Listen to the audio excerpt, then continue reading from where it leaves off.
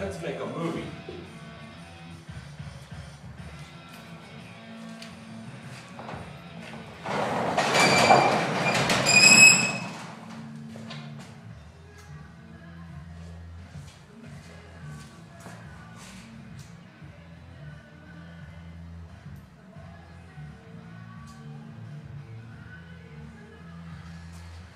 Time to do the dishes.